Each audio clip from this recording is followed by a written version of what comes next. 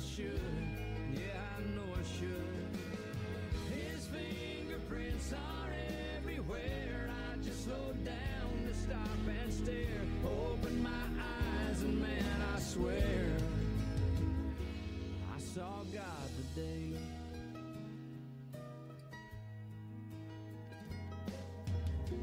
Saw a couple walking by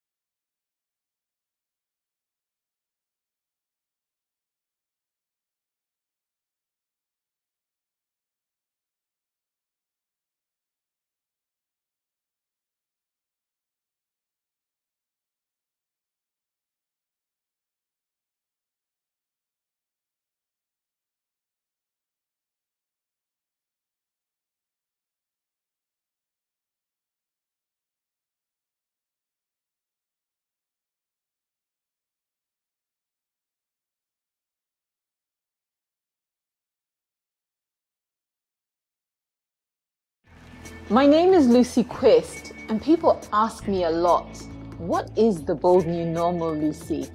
I tell them that it's an idea that has been growing with me for many, many years. It's an action-based idea that I was able to more fully articulate when I was I had the opportunity to speak at TEDxEuston um, in 2016. It's an action-based idea about what is possible.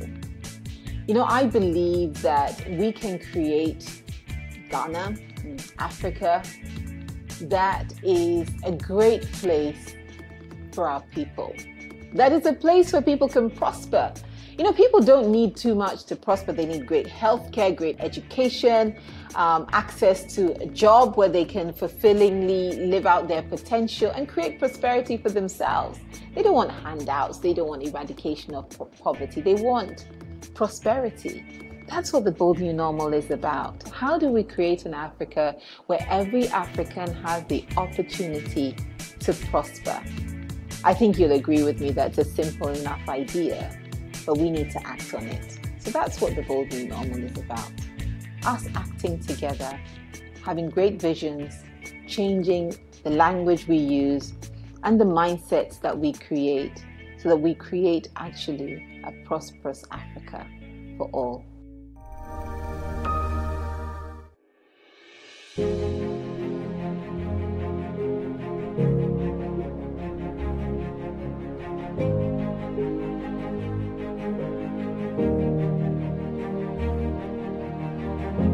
Imagine a prosperous Africa where good education is a given, an Africa where great healthcare is the standard.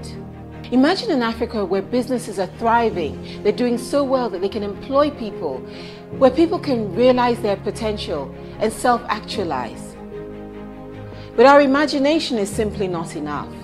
Our visions need bold action to come to life.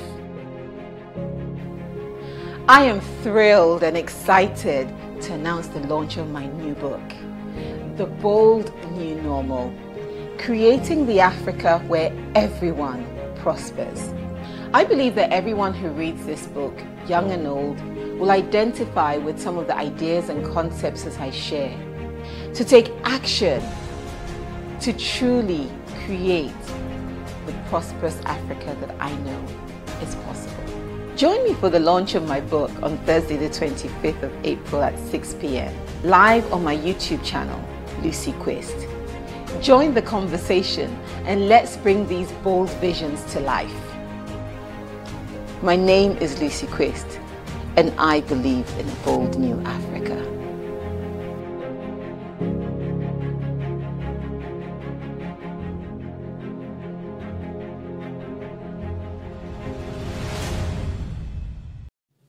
The biggest marketing campaign for Africa is um, charities, right? They own the African brand and they perpetuate the high risk levels, the disease, the this, the this. They don't talk about anything great. And once they, pers- th- this persistent message, which is on everybody's TV screen in the, in the Western world, look, for some people, that's the only thing they've ever seen or heard of Africa. That's your brand. The person isn't wrong for assuming that's who you are. That's what they've been told you are forever right? And so for me, that is an example of one thing that really needs to be addressed.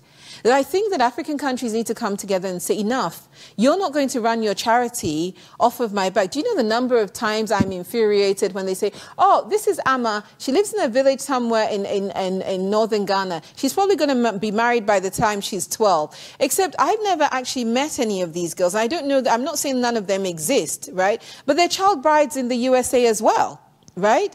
So, but no one's going to brand the US as a country of child brides. Why don't you suddenly rebrand it and say, this is Lucy. She's from Ghana. There are 10 other Lucys in there. And actually, there are 100 other women who are far better than this woman, and so on and so forth. So we have that honest work that we need to do to say, enough. You can't keep saying these things about me and get away with it. Let me tell my own story. It's what I said in the beginning. Don't tell my story for me.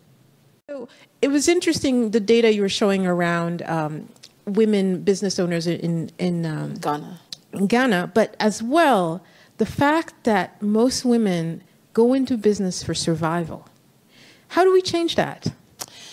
Well, the question is, why are they in this position in the first place, right?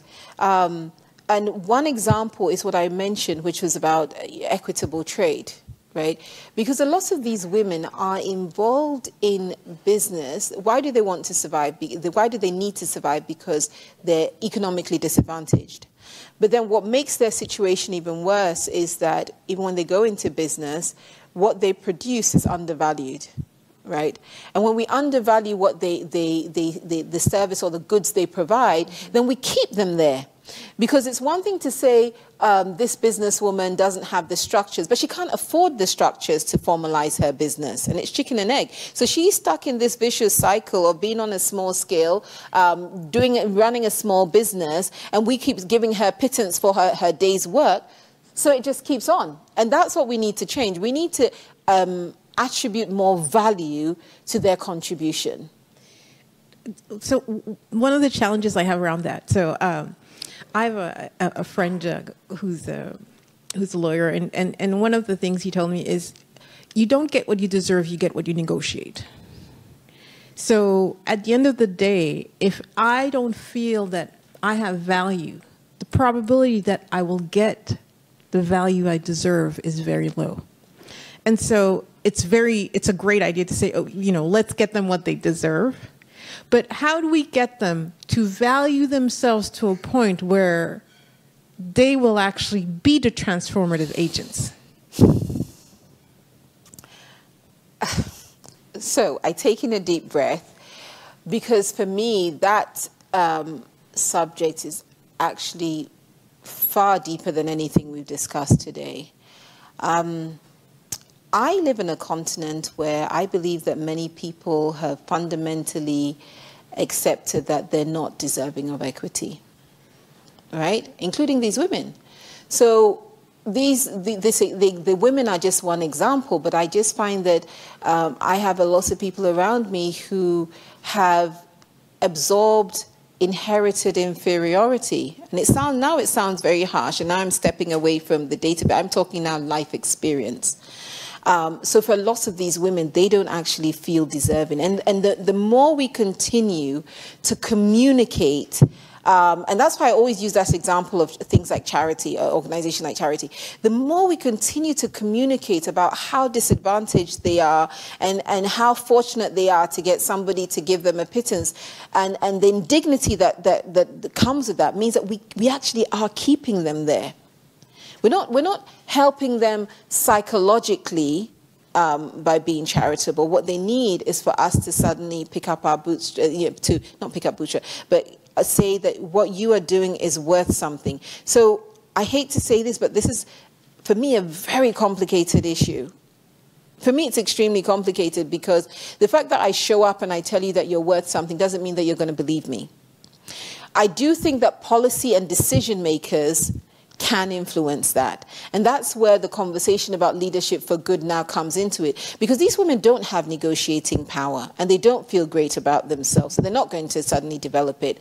But if we as leaders suddenly say, actually, instead of you going out and negotiating for your $50 business on your own, I'm actually going to pull you together and I'm going to be your voice and I'm going to speak for all thousand of you and I'm going to negotiate for you. For me, that's what leadership does to change the agenda. But that requires a certain type of leadership. Mm-hmm. So, can you tell us a bit what kind of leadership that requires? What's the secret sauce in terms of that type of leadership? Um, there isn't a unique secret sauce, if you ask me. Um, and I go back to the conversation um, on about change um, on the African continent, and even that really clearly demonstrates that there isn't one secret sauce.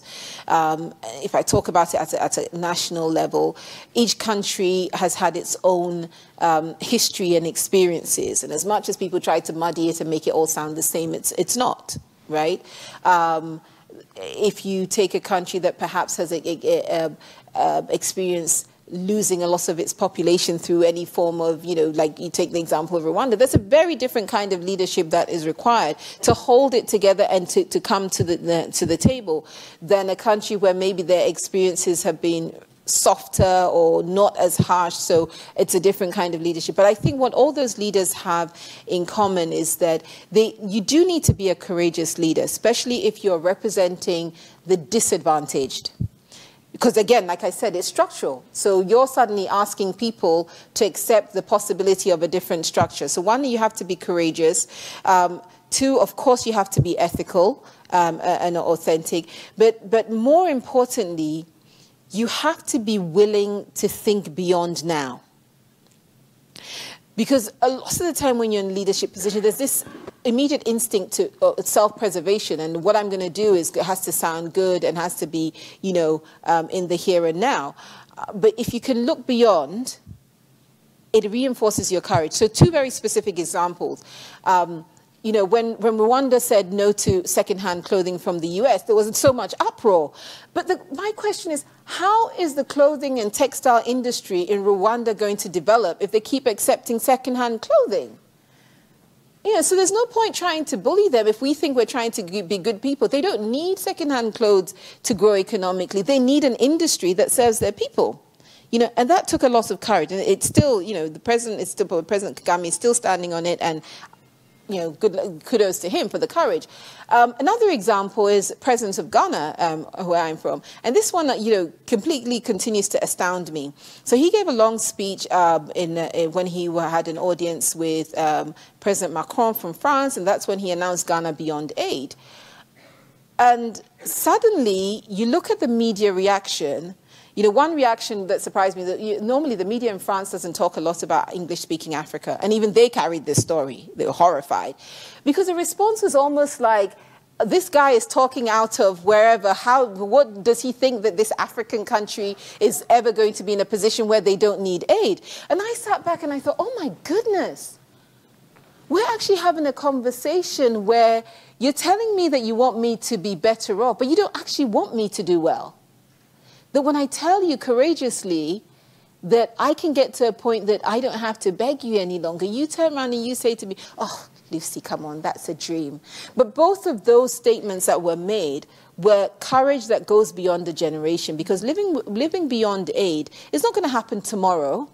But it's that call that says, people, let's pull up our, our you know, roll up our sleeves and let's work together to make this happen. And I would love for us around the world, when I say let's do it together, to say that actually we can get countries and these people and these women to a mm-hmm. place where they live equitably and decently like every human being. Never has our world needed more astute leadership. And by astute, I'm not just referring to your undeniable intellect. That's partly how you got here in the first place. But our world needs you to uh, astutely demonstrate empathy for your fellow human being as you make decisions as a business leader. That you will use your positions and your privilege to positively drive progress wherever you find yourself in the world. You see, despite what you may read, our world is not progressing quickly enough on critical issues of economic equity, environmental protection, and the assurance of peace for all into our future, to name a few areas. It's as though, for all our smarts, we cannot accept each other as worthy of the basics of human life around the globe. The excess of a few sometimes comes at the ex expense of many. I think this is fairly unacceptable. And yes, our technology is booming, but we are leaving too many behind on every single continent. There are many reasons for slow progress, but perhaps to me, the most important is that we do not have enough of a critical mass of decision makers who care about these things. Of course, there's a superstar leader with hubris, who, in my opinion, does not really count as a leader.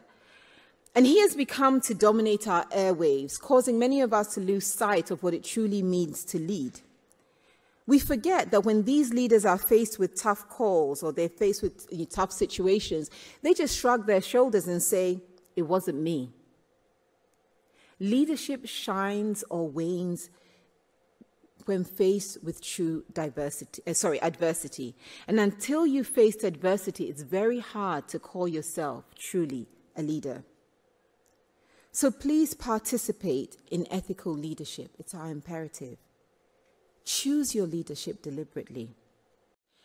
Our world needs you to commit to change. Our world needs you and your belief in better. Our world needs you to create new visions of the future, that imagined reality that Ilian spoke about. What's your new vision of our world? Our world needs your commitment to action that creates a new future. Don't get me wrong, we have many managers, we have many innovators. But management and innovation are no longer enough. They're just a great starting point. More than anything else, our world needs you to lead for good. Thank you very much.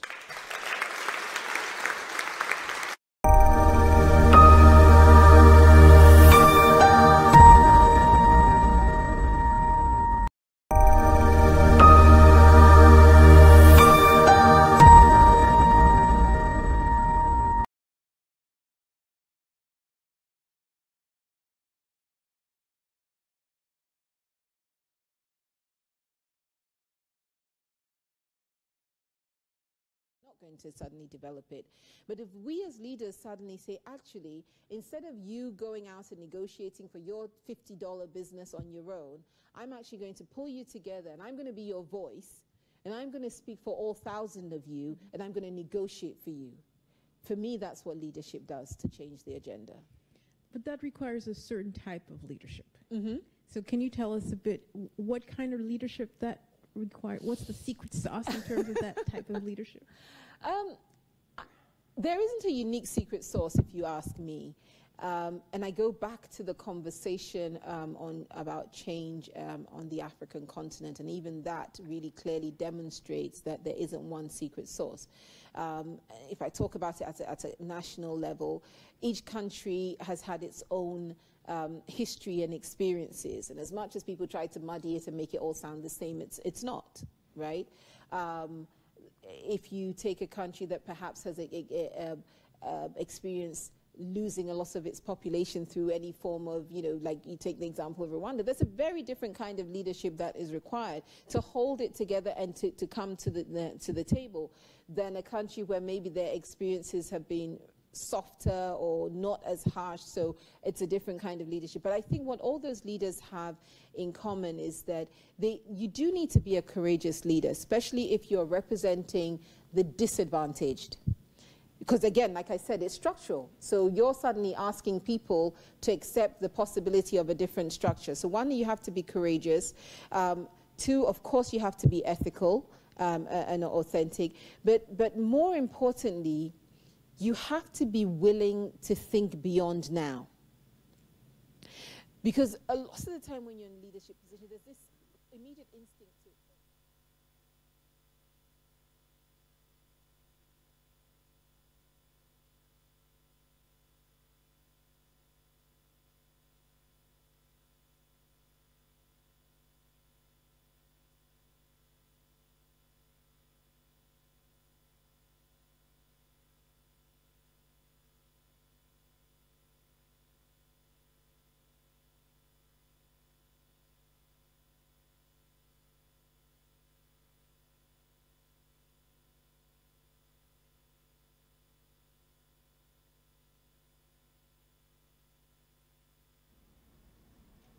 Shall we kindly rise to our feet, please? Let's pray together. Eternal Father, we thank you for the gift of life, the gift of friendship, the gift of talent, the gift of vision.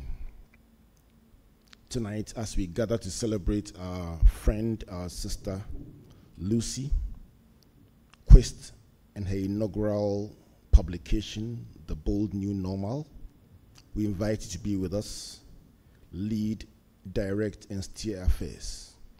May today be symbolic, significant, a day to remember, a turning point in our life, and a contribution to the development of our nation and our continent.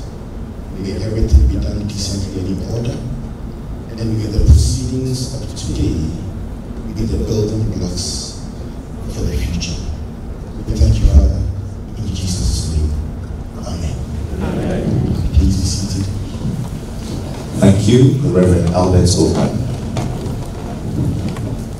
And I am a lonely dreamer, traveling to distant homes to nurse my germinating journeys as seed for my dairy. I, I am the eternal gatekeeper who went home when all of you had forgotten your keys? I locked the doors of memory and time, kept them in my pocket, said that one of these days, if you'd ever return to get a drink from the wells of eternity, I could serve you from a calabash. And the writer king who sips communion wine from the calabash, obviously I did not come to pour libation. I remain the ever young songbird of the marketplace who says, it is only the man who sits under the tree who knows the intensity of the breeze. Life is hard, yet he's quick to add that there is hope in the flatulence of the bee. I am the tongue, housed in the job holes of time, waiting for the next eternity to speak light to the kids of this world. Good evening. Mpanyinwa mpanyinwa mfabɛto anansesɛm shadows would find their places on the walls. And so we beat the drums, strum the strings, we call our neighbors to a dance, making sure that the music is good. And when the music is good, you pay to hear it twice. But mind you, when you call your neighbors to the dance, the music had better be good. And when you are called to the dance, you might not have called the dance, yet you determine the steps and make sure that when the music is good, your dance steps are equally beautiful to meet the music that is good. It is not because we do not see the moon from our houses. It is not because our cooking pots are not strong enough to hold our evening meals, but it is just because all of us are of different places, yet we share one womb. And at the end of our legendary lives, we might find one common Ghanaian heaven or one big eternal doom. And so we have gathered to celebrate those who need to be celebrated. We have gathered to beat the one whose drums are worth beating. We have gathered to dance the one whose dance it is up for. We are only communal neighbors attending to communal business so that when the harvest is due, we do not have to pay any laborers. We would only be scarecrows on regular patrols because your bumper harvest will be my peace of mind and your peace of mind, at least for a year. There will be no thieves. Only our first scarecrows on regular patrol. Enemy, enemy, take it easy. Tonight, it is Lucy's turn. Tonight, we have come to celebrate her.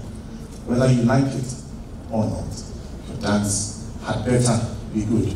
Look to your neighbor. Maybe we came to compare smokes. yours had better not be more colorful than that of the master weaver. I'll be back. The writer queen who sits for William Wine with gold, ladies and gentlemen, is yours for the applause, Nana Asaase. Oh, come on, you can show him some love tonight.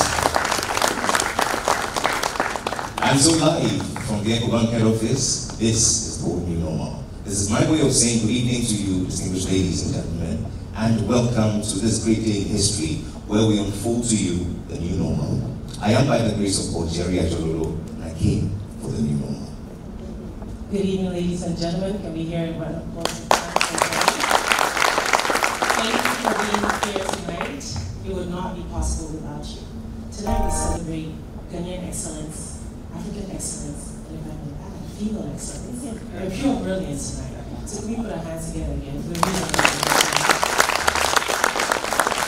also welcome, welcome, welcome to our live streamers and those on social media. A few housekeeping rules. If you're on Facebook, you can go to at Lucy Quist Official, Instagram at Lucy Quist Official, on Twitter also at Lucy Quist, and hashtag the bold new normal, hashtag creating prosperity, hashtag Lucy Quist, hashtag African writers, hashtag motivational goals. We must try tonight because we are celebrating excellence. So without much ado, we would like to introduce our chairperson for tonight.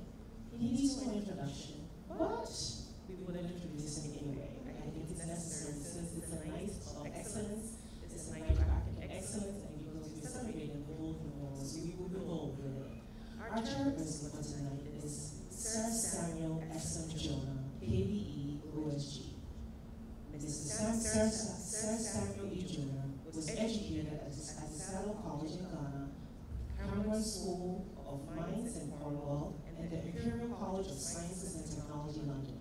Sir Sam's career had begun in 1969 at the Obuasi Gold Mine.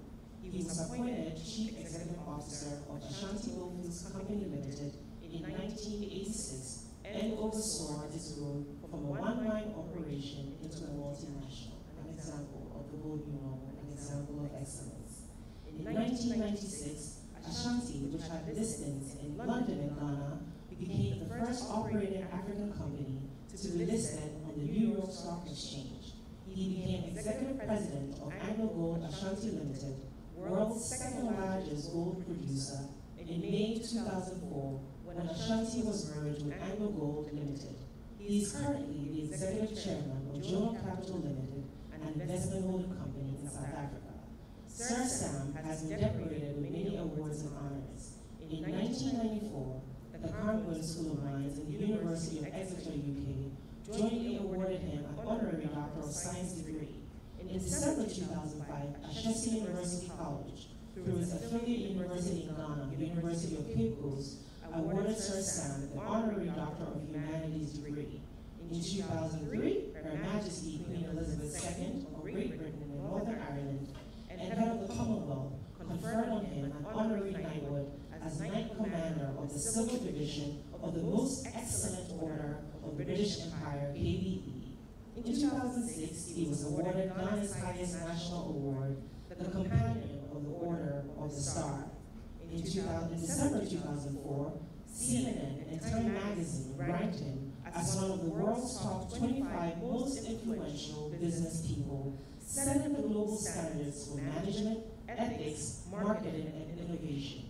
He is the recipient of three Lifetime Achievement Awards, the most recent being the one conferred on him in June 2010 by the Commonwealth Business Council and the African Business Magazine for his outstanding contribution to the development of the private sector in Africa. Most recently, in March 2011, he was profiled as Mining Personality of the Month in Martin Creamer's Mining Weekly publication. Sir is the Chancellor of the University of Cape Coast, Ghana, a member of the board of Ashesi University Ghana, and a visiting professor of business at the University of Witwatersrand Business School of Joburg, and a member of its governing council, as well as a trustee of the Nelson Mandela Legacy Trust.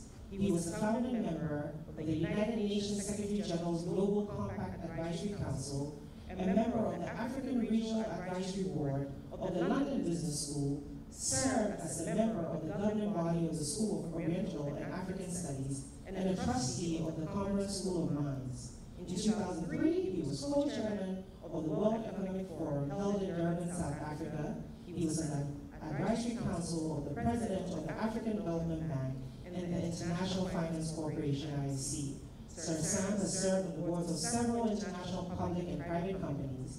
He currently serves on the board of Vodafone UK, amongst others. Sir Sam has been an advisor to a number of African of states. Most recently, in January 2013, he was appointed to serve on the newly established Bank of America Global Advisory Council, together with internationally recognized business, academic, and public policy leaders. Most recently, he was chosen as an Albert Nelson Marquis Lifetime Achievement inductee. He has also been elected as a foreign member of the United States National Academy of Engineering for the recognition of the distinguished contribution to engineering. Can we hear it for our chairperson doing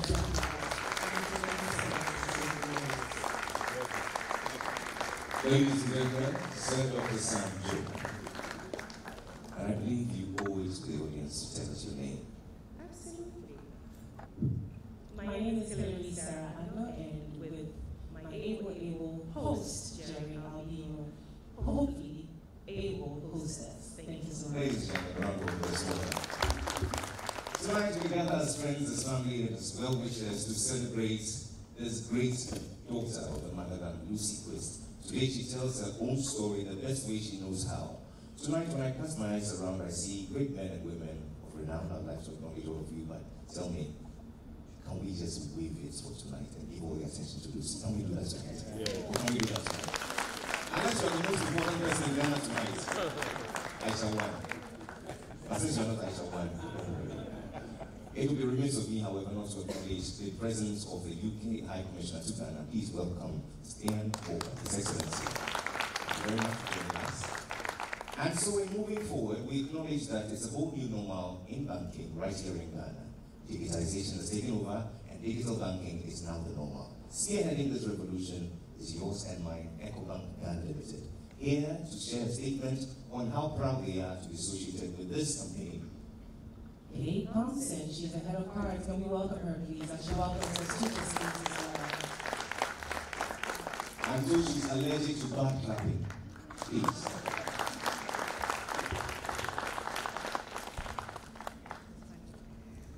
Good evening, everyone. My name is Kate Thompson. I was introduced. I'm the head of uh, consumer distribution.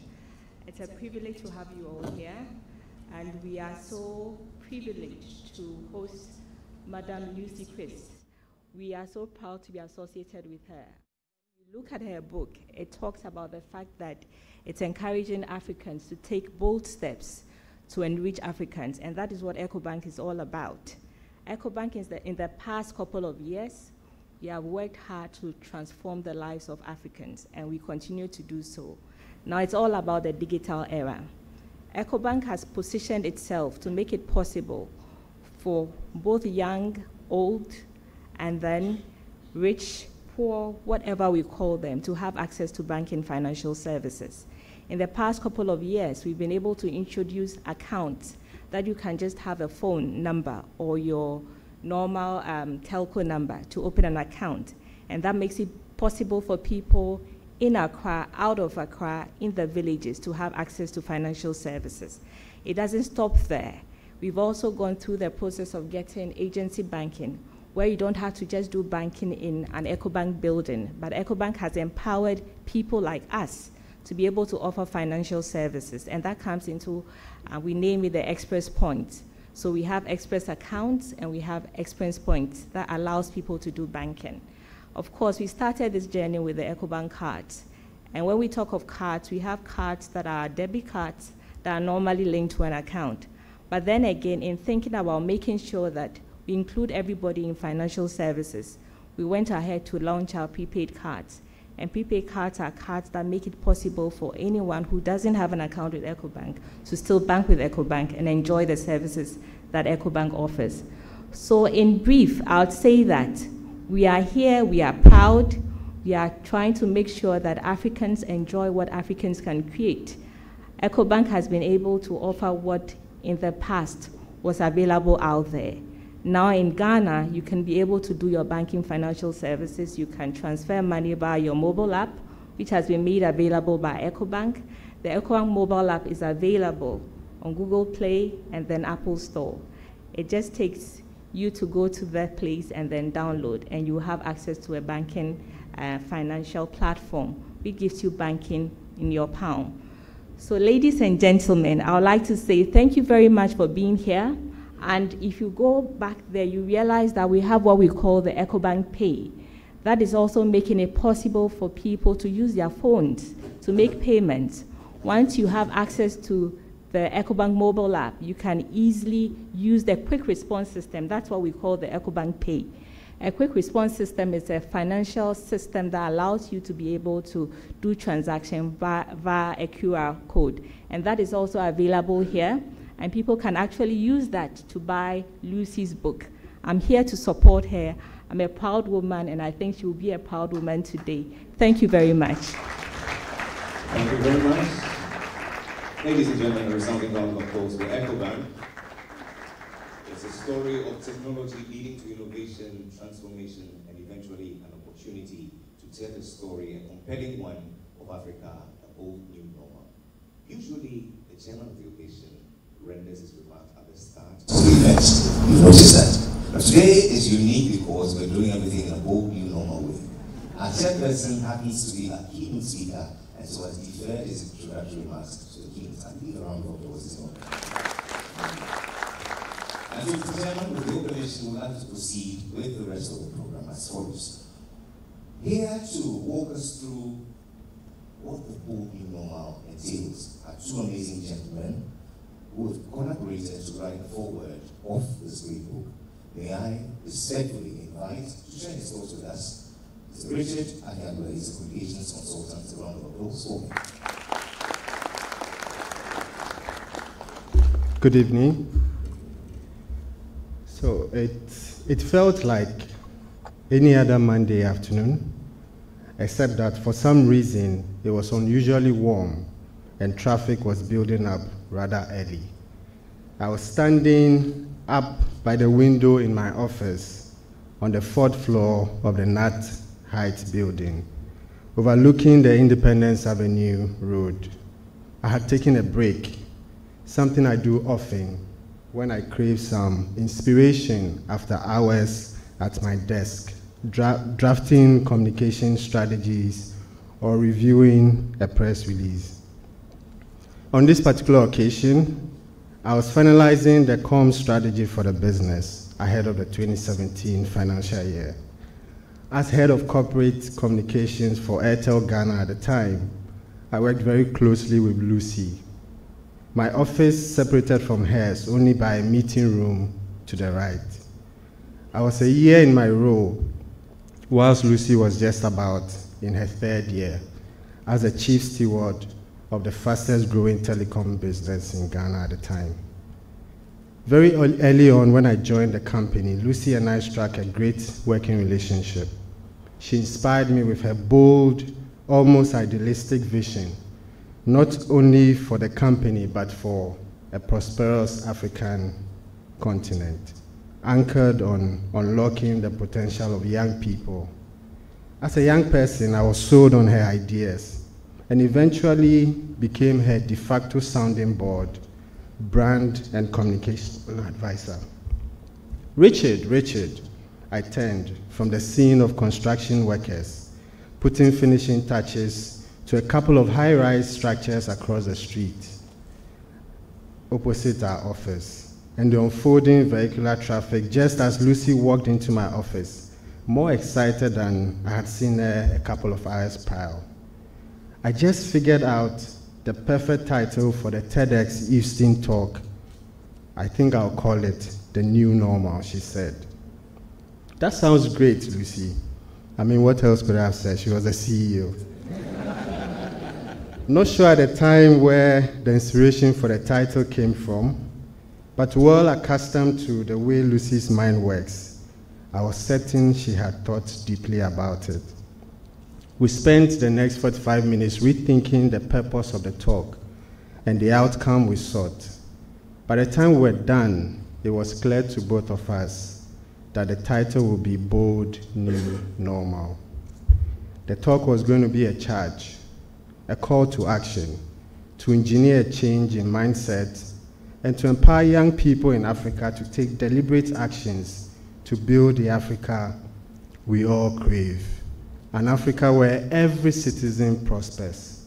The next couple of days, Leila, a young, talented intern in my team who had been working with me on this project, met with Lucy to dust off the final presentation. We did a couple of dry runs, and we were sure that Lucy was ready. The fact that she was going to deliver a fascinatingly memorable talk was never in doubt.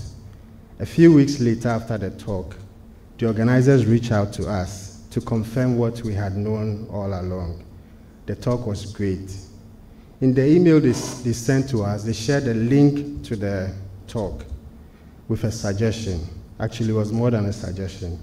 They said to us, why don't we call this the bold new normal? They had already titled the talk The Bold New Normal, so we had nothing else we could do about it. What followed afterwards, I can only describe as a movement. As the talk generated conversations around the world, we embarked on the Bold New Normal tour with young people across many parts of the country. And when Lucy's traveling shadows allowed, a few countries in Africa and Europe, we activated digital campaigns anchored on the Bold New Normal and commenced conversations in boldness, mostly on social media. You need to write a book, I will often say to Lucy. Actually, was just re echoing the sentiment of many people we had met on our tours, to which she would reply, certainly. It was not lost on her. Lucy was always, Lucy has always nurtured the thought of immortalizing her thoughts, but I knew too well how stretched her time was. I would often ask her how she seemed to perfectly juggle her various roles as CEO, a full time mom, a global speaker, STEM advocate, coach, and mentor to dozens. One afternoon in August 2018, a call came through from Lucy. This must be special, I thought to myself.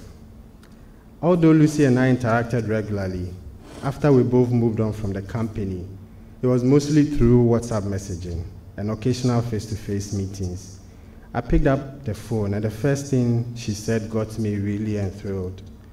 I'm writing that book, Richard, and I need you to be part of the first meeting with my publishers. Can you make it? Of course, I did. She had been penning her thoughts silently over the course of several months and was ready to make the new bold step. Over the course of the last three years, I've come to know Lucy as a deep thinker and a multi dimensional leader with a burning desire to empower and unleash the potential of people, especially young people. It is, the, it is at the core of what she stands for. It is this same desire that led her to champion the Evolve with STEM initiative to encourage young people to adopt courses in science, technology, engineering, and mathematics. It is what drove her to initiate national and regional conversations aimed at promoting STEM as an accelerator of Africa's development. In the golden pages of Lucy's book, she channels this desire into a transformational agenda and espouses bold ideas that can only emanate from the mind of a passionate advocate on a mission to inspire, empower, and transform. In the bold new normal, she draws on her experience, leadership journey, and passion to transform Africa's narrative, challenging the curious mind, the doer, the passionate African, to take a deliberate action to create the Africa we all desperately need. The bold new normal is more than an idea, it is a movement. It will stretch and challenge your thinking to be more, to do more for yourself, your country, your continent, and the world at large. Are you ready for a bold new normal challenge? Thank you very much. Warm ourselves and thought-provoking Richard Anyakwela, communications consultants, and a co-author of the foreword. And thank you very much for those warm words you've spoken about the author. They are true as somebody's testimony at the AWO recognition. This evening, we should have had in our midst the other co-author, is Patrick Awuah. Unfortunately, he's not able to join us, but he's joining us by technology shortly. In his stead, however, is a man who has done to the legal profession what Muhammad Ali did to boxing, what Mourinho has done for football, and probably what will do to politics. Turned the legal profession upside down, giving it a uh, business face so creditably around the world with offices in Botswana, Burundi, Ghana, Liberia, Mauritius, Rwanda, Zambia, and in London. He has a knack for predicting the future with such exactitude, I don't know why he's not a reverend or a prophet. But tonight, he gives us a sneak peek of what the new bold normal means to him. Would you please welcome his senior partner, AB and David Law, David Ofosu-Dorte.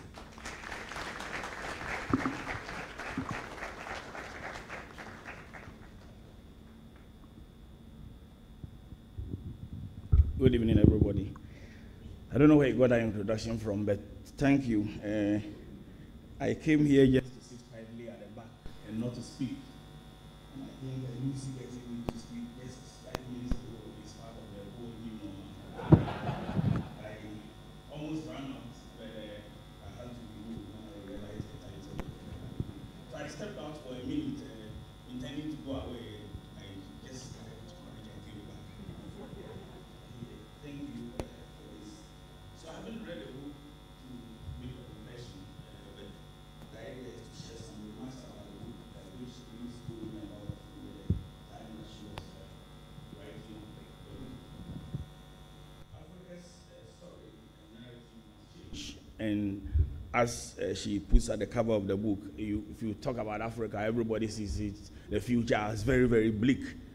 And I'm sure if uh, I were to ask people to, in this room, and I'll be asking that question shortly, to attribute what Africa's, uh, the cause of Africa's failure or its bleak future, everybody will have an answer.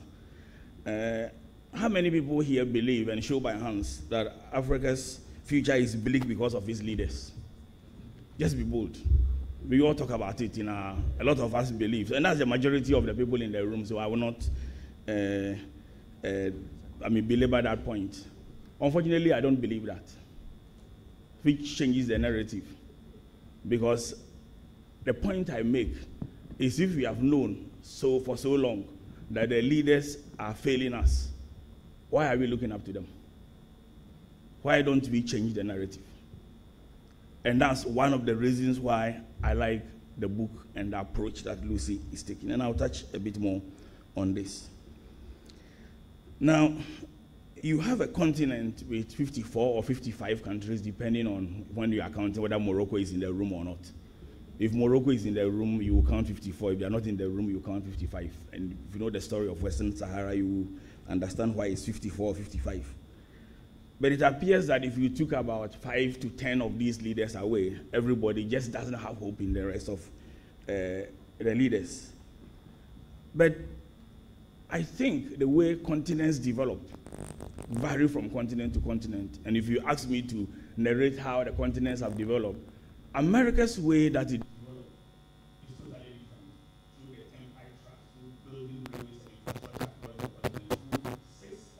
just uniting after Civil War, others coming to join them. Europe developed because after the Second World War, America created a Marshall Plan for Europe. Japan developed because they decided to change their culture, and the Douglas MacArthur Plan helped Japan develop backed by funding from America. But what about China? They developed first by closing their door and attempting to change their culture and the so-called cultural revolution, which of course failed. But with Deng Xiaoping trying to create one country, two systems. And its story is told that after visiting Lee Kuan Yew in uh, Singapore and realizing that the Chinese in Singapore, who were not very much respected in the Chinese society, had managed to develop, why not China? And the narrative changed. And China's development is through state uh, capitalism. The point I'm trying to make is that nations develop through different means, and to expect that the development of Africa will be through the same method that others developed is totally wrong. I believe that a time comes in the life of a people when the leaders must be led. Yes, and that is the bold new normal statement. Now, what do I mean by the leaders must be led? There are a lot of myths we believe in, and I gave a talk recently somewhere about the 10 myths we believe in which are not true. But that belongs to another, another forum. But one of the myths we believe in is that the leaders are going to take us out of our current plight. That is certainly not true. Actually, Africa will develop when the people who are ordinary will be the rallying point between nations in page 105 of a book. That's the only one I have seen. I mean, I just glanced through. So, so don't be bamboozled by it. When the ordinary people become the rallying point for moving this continent forward, because the leaders are not going to move us forward. That's a fact we know. And it's about time we recognize that. And the ordinary people who become the rallying point are what I mean by ordinary people. You want an example? You are sitting in one. EcoBank started with the likes of John today. Crossing the continent and forcing the established banks to now chase them to try to match up. That is what I call the bold new normal. Actually, the more difficult the terrain is, the easier it is to develop. And I've had the rare fortune of seeing Lee Kuan Yew in person. I didn't just read about him. He's sitting at an interview and allowing questions two hours. No holds barred. And when you listen to people like that, your life changes forever. It is ordinary people on this continent who will change society. And it is about time that we realize that the circumstances of Africa gives each of us an opportunity to make that change and create a new story different from the bleak narrative that we keep talking about. And I'll give you just one example. Most of you must have heard about the Continental Free Trade Agreement and the fact that 44 countries signed it, 24 have ratified, etc. An ordinary man, and I mean an ordinary man called Muchanga, who is now the AU commissioner for the CFTA, just took a simple decision that the signing ceremony will be telecast live and when the heads of states realized that their colleagues are watching them, everybody signed. it's as simple as that. It was not the intention of heads of states to sign. That's what ordinary people can do to change this continent. In other words, each of us sit in a position where, based on what Lucy is propounding and what many other people are talking about, we should begin to think differently. And apologies if, if you are you're one of those people who believe in thinking outside the box. You can continue thinking outside the box. It's fine. Uh, I don't think outside the box. I think very far away from the box. because in Africa, you don't have to think outside the box, and I'll explain why. Because Africa is in a box. In order to think far away from the box and change the narrative, you have to know what is in the box. What is in the box is that they tell you you don't have capacity. You can never do it. You live in Africa. And we have concepts like local content. Yeah, I'm a lawyer and I advise on local content. But it's not about time we talk about foreign content. If we own assets, why are we talking about local content? Is it not our asset that rather we should be thinking about how the foreigners should have content in it? I don't mind if they have majority, but the change of the psyche changes everything. And that change of mindset is so key that unless we begin to focus on that change of mindset, nothing else matters. And that's why I cited, I, I quoted the page 105, where Lucy talks about the fact that leadership will always be a key part in our development. But we are the system within which leadership operates. And unless the ordinary people actually change their mindset and have faith in the development of Africa, it ain't gonna happen. And that's what we need to do. And that is why this book is very important. So think far away from the box by finding out first what is in the box and run away from that box. Because actually, what is opposite is actually what is true. And it's very important. And MTN tells us you have one minute remaining. Good. And it's for this reason that the faith and mindset that Lucy seeks to espouse in her book is the good point from which we must continue to propagate this story. Yes, governments will always remain important, but we are the system on which government will be driven. And as a result, I encourage all of you not only to read the book, but to actually take the, the philosophy espoused in the book and make it part of your life and create the story in which the bold things we do will become the new normal. Thank you.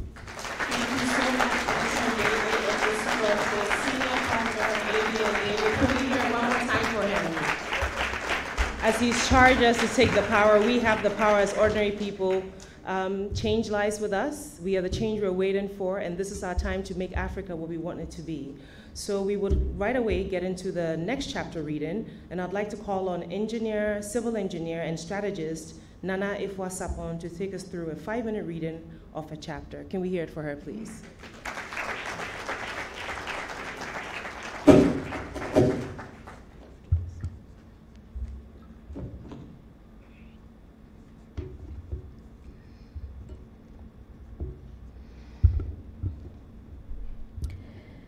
Madam, if you want anything to change, you have to get into the gutter with the people. A young driver delivering a life lesson. When the Caribbean was hit by the hurricane in 2017, news networks across the globe carried the story. The news coverage conveyed compassion for the great loss people were experiencing. I could relate. For one, my mother in law is from the Caribbean. Secondly, it had, it had been only a couple of years since torrential rain and subsequent flooding had led to an explosion in Accra that killed almost 200 people on the spot. It was the most horrific scene I had ever seen. Accra, Ghana's capital, is a low-lying city which opens out to the sea. A growing population and challenge enforcement of urban planning had left the city with waterways that could not deal with the sheer volume of rain. Waterways were now largely inundated with refuse. All this was exacerbated by the growth in the, in, in the density of the people living in the city. To be honest, flooding had become a perennial problem in Accra. That fateful night, the 3rd of June 2015, was one of the most intense experiences for me as a business leader. Parts of the city were under siege. I was fortunate to live close enough to our business office to have made it home long before any of us realized how intense the night would be. I called back to the office to check on people and found out that we had staff stuck in traffic in the office. Imagine going to work with a plan to go home at the end of the day, only to realize that you were stuck for the night. I had to make a plan. I got some stuff over to my house for the night, while others who preferred to remain in the office were happy with food supplies. It was the least I could do. The next day, we found out that we had been, in, we had been the lucky ones one of the worst hit areas was the Kwame Nkrumah Circle, named after the first president of Ghana. People had parked their cars at the petrol station. They were waiting for the rain to subside so the roads would become more passable. The ground around them was flooded. It turned out that an underground fuel tank was also flooded, causing fuel to rise to the surface. And somehow in the vicinity was an open flame a spark meets highly was an open, and somehow in the vicinity was an open flame. A spark meets highly flammable fuel. An explosion follows. The station and its environs caught fire. Everything was on fire. Everything. I pause as I write because the images come flooding back. I only watched on TV and wish I could unsee what I saw people, people of Ghana, my people, burnt alive. Using the words charred bodies makes me squeamish. Yet, they, there they were, charred in the aftermath of the explosion. Even through the screen, the pain was palpable. How do you comfort a woman who loses her grip on her child only to later realize that her child is gone for good? As you look into her eyes through the screen, you wish there was more that you could do than just empathize. So you can understand my intrigue with the Caribbean news reports. I was intrigued that in the midst of all the pain and loss, the news reports of the Caribbean disaster were also immediately and equally concerned with estimates of how much it will cost to rebuild.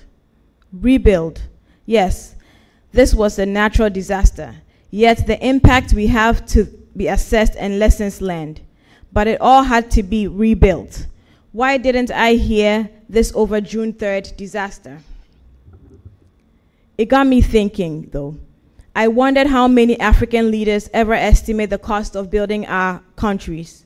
How much would it cost, and how long would it take to bring the average African standard of living to the level of the average person in a developed economy? What would it take to do so?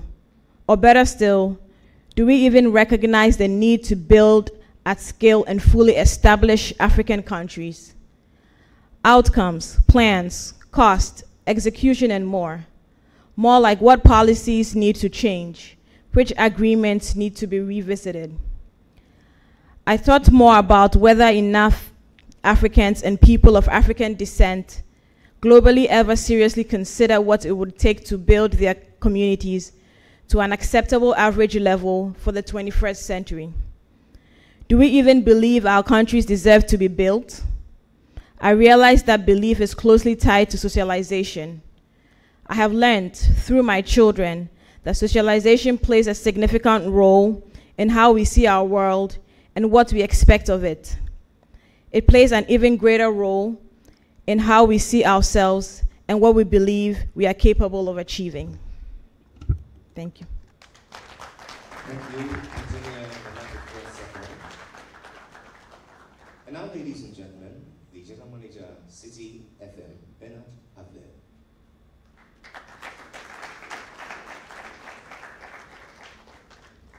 Good evening. Why? Hi, good evening. You look very serious. Africa will rise. So let's relax. Okay? Afri- Africa will come up. I'm reading uh, two and a half pages from chapter one. The chapter is titled Africa. And here's a quote One of the most mismanaged brands in history. Why is Africa predominantly used as a diminutive description. Now, I have to be honest. I don't like the use of the word Africa. I believe it's an overgeneralization of a complex continent 54 countries and over a billion people.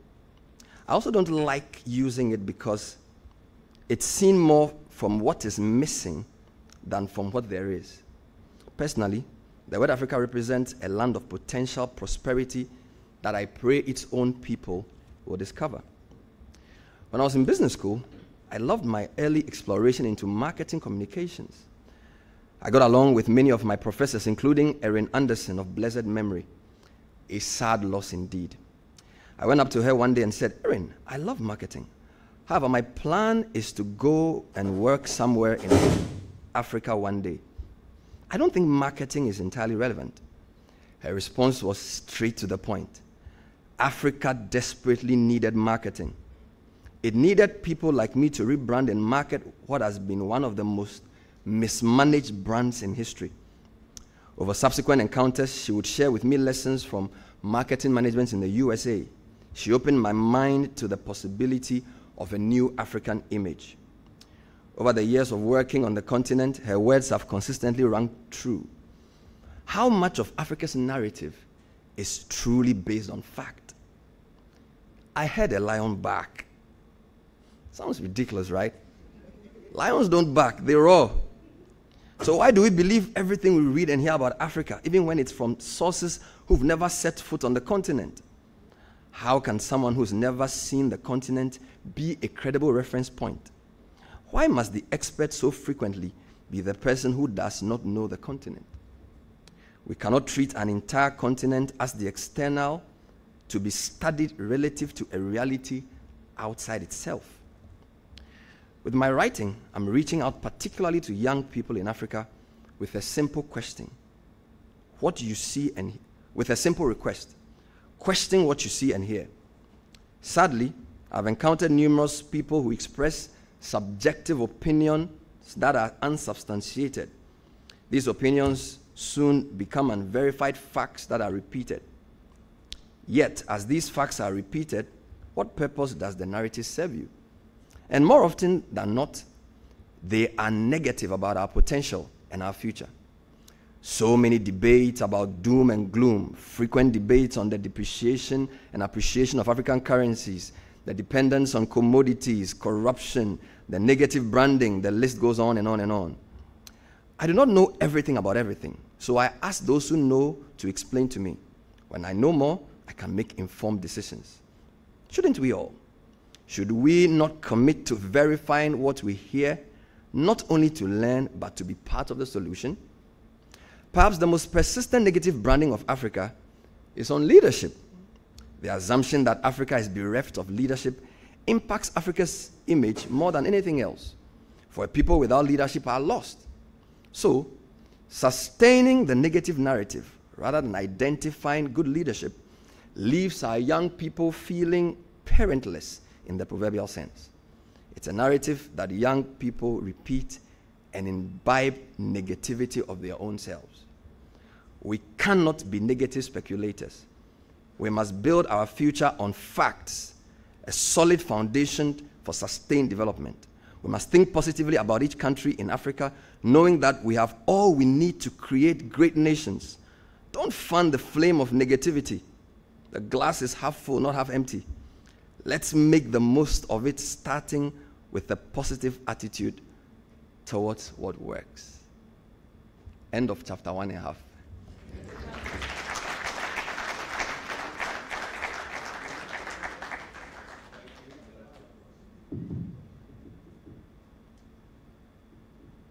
I never did.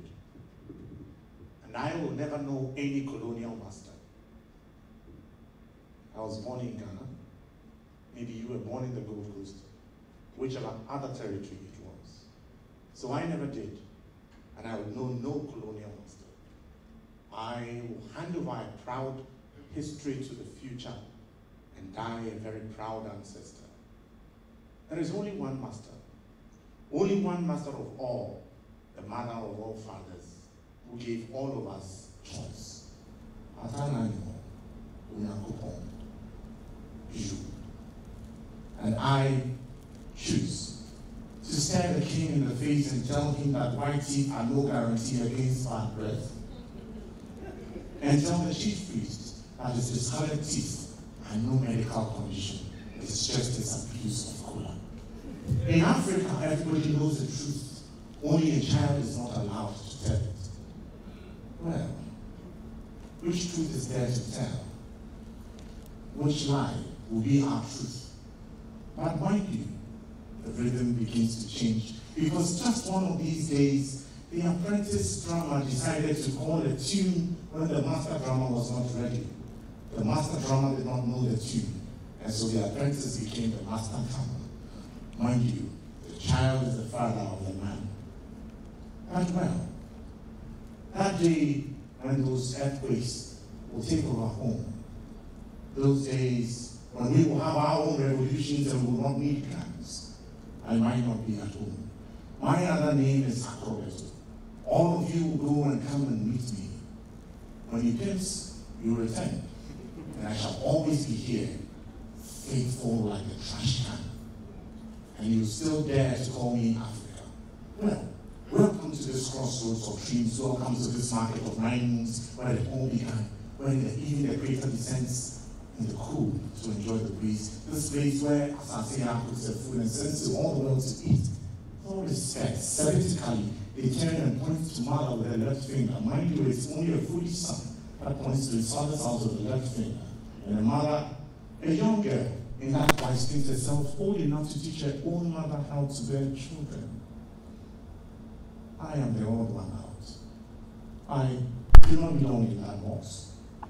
That box was smashed by Uguman Kuma. That box was swallowed by Obadojan. That box was trampled by Osun. That box was not the ink with which our story was written. Where were you back in the days? Sana you be there that movie. One of the cancer, and you become Penism, or Fabric one and seven. And when the flame was at its biggest, shadows would find their places on the walls. And so where have the fathers gone? What have the children seen? I choose to be bold. Freedom of speech is guaranteed. Freedom of speech might make me an ancestor, And so you see, I told you that I, when I am done taking the bull by the horns, will die a proud ancestor handing over very beautiful history to the future. For I have never known and will never know any colonial master. But my other name is Donald And so when all of you have spent all your goodwill and your legendary lives and have found one eternal doom, I will still be here, beating the drums of Africa and telling them that in this place some hope still lives, that in this place I do not have to apologize for being left-handed. And mind you, you dare not dip your left hand in the king's golden bowl to pick choice meat. And dare tell them that in this place, when a child is called before his elders, he dare not name names or call titles, lest they miss one and be made to pay a fine. I would dare to still tell them. But if you rise too early, the dew of life will soak you. And so if you ever throw a curse at a stranger whose heart calls coincide with your insults, your father will be right to give you a very good spanking. Yet remember that the son, the son is never held in contempt for taking his father's oath out of ten. Nsɛm bi mu yɛ ebi a no wante ase ebi a no wɔ anim nanso wɔn sɛ abofra egyina ɔbɛbi anim na wakasa na wɔn anim aso na wɔatie na wɔn kasa ebi a no wante ase ebi a no ebi ato afo yet I am bold to tell the truth because when a time I know us choice. If I would lose my new nationality and come back all over again, God, do not take two things that I am African and I am a poet. And so when all is done, I just need to say seven and tell the world, I'm sorry. This will always remain the place where our umbilicals were kept, or our umbilicals were cut with knives, and our very first steps is what the world calls dance. And so if there is anything to be rewritten, mind you, let us erase black from white. Give us a fresh new page. It might be brown, let's call it F. And then in the beginning, God can begin to create woman and F and womb and tomb. And when all our legendary lives are set, we can probably find that bold new heaven. I thought like this. Thank you. Thank you so much, Anastasia. And one more time for our Ghanaian brother, our African brother, our old brother, our powerful brother. Thank you so much. Thank you, thank you, thank you. At this moment, we would like to call on our chairperson, Sir Sam Jonah, who would address us, after which we would officially launch the book with um, our esteemed author, Lucy Quist, and Reverend Okran. But first, our chairperson's remarks.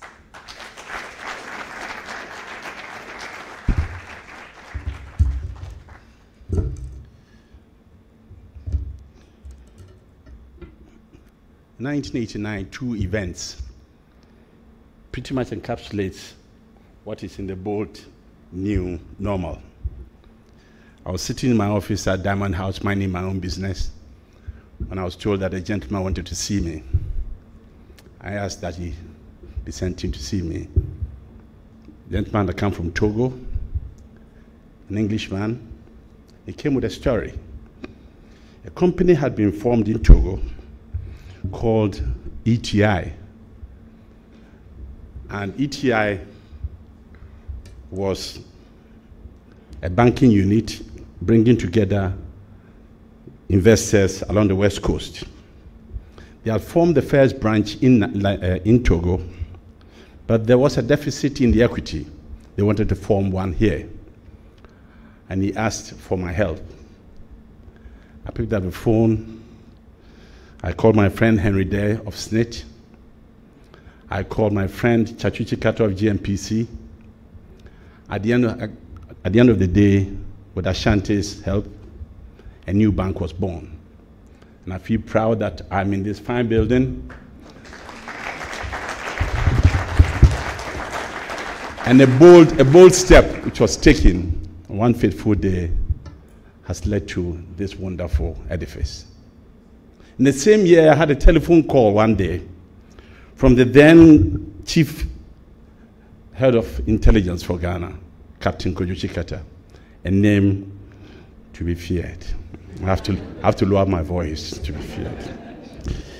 He says, Sam, I said, Yes, Chief. I stood up to attention, even though he wasn't in the room. He says, I need your help. I said, Please carry on, sir. He says, You know, as Ghanaians, we've just come back from a non aligned conference in Indonesia. And we've gone and shut our mouths off. We were boasting that we could host the NAM conference, the non aligned movements conference. But we have no hotel. But we've been given the responsibility and the privilege to host it. I said, I ran a gold mine. Why do you need my help? He says, You can do it. I said, Really? We need a hotel. I said, When is it the conference going to be held? 11 months. Chief, 11 months? He said, Yes. Okay, Chief, I'll come back to you. I called my boss in London, Tiny Rowland. I said, Tiny, you've got to bail me out of this. I've got a problem. He says, That is not a problem. Two days later, a team came from Sweden. Ten months later, I handed over the keys of Labadi Beach Hotel to the government. Just saying this to, to exemplify what can be done if there's a commitment to board leadership. Your Excellency, distinguished ladies and gentlemen, it is a real honor and privilege to be with you here to commemorate the launch of this brilliant book by an incredibly brilliant authoress. I thought Lucy's invitation was for me, for my mere presence here. Until yesterday evening, when the book was delivered to me, it came with a note. And when I read, at that time I was battling with the flu, and when I read the note, Lucy thanked me for agreeing to give a speech. I went into a panic mode. I was already sweating. I called Lucy. I said, Jesus, what are you doing to me? he said, Oh, don't worry, it's only for five minutes. Well, Lucy, thank you for putting me through a stress test. I've written and given many speeches in my time, and I can assure you it's a lot easier to write a 40 page speech than a one pager because there's a lot of garbage which you can have embedded in a 40 page speech. I didn't have that privilege. Ladies and gentlemen, I graduated in engineering in 1973. I studied in the UK. Even then, there were hardly any women studying engineering.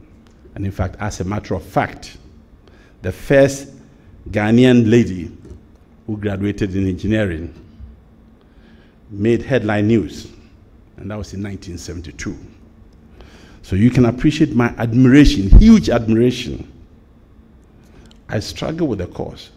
So I can, so I'm sure you'd appreciate my admiration when I learned that Lucy not only chose engineering as a profession, but had actually excelled in it. She got a first class degree. I never got that. and by all accounts, she did just as well in on, on the MBA program. And of course, she's the first Ghanaian female head of a multinational, or she has been the first Ghanaian female head of a multinational communications company. It should not be lost on us, therefore, that Lucy chose as a title for her book, The Bold New Normal, because she pretty much embodies that. Lucy has been a trailblazer. She has been constantly shattering proverbial glass ceilings. Who but Lucy would attempt to go into administration of one of the most treacherous industries in the world, football management? Lucy, you are a source of pride and inspiration to all of us. Ladies and gentlemen, Ghana's development path has often been compared with Singapore, Malaysia, South Korea. In terms of natural resources, all of these countries are less well endowed. Than most, than Ghana, and of course, than most other countries in Africa. At independence, our GDP, we are told, was at par or even better than some of these countries. And yet, all of these countries are far ahead of us in terms of development. I find the South Korean experience even more inspiring. South Korea even imports for their development sand for construction from China. They don't even have sand. What accounts for our state of affairs? In the bold new normal, Lucy is challenging us to have an honest, candid, and frank conversation on this subject. In the 2017 happiness, World Happiness Report, a number of factors were identified. There was a common theme which was shared of the problems the continent faces. At its core, as has already been pointed out, is the leadership deficit.